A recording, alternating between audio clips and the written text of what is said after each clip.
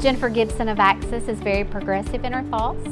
Um, she does excellent teaching and mixes a little bit of humor with her teaching and so I think that's always good. Her detailed information is excellent information for agencies. I teach myself so I, I think that you can't just have a dry platform because people aren't interested and I think what she provides to your customers is excellent.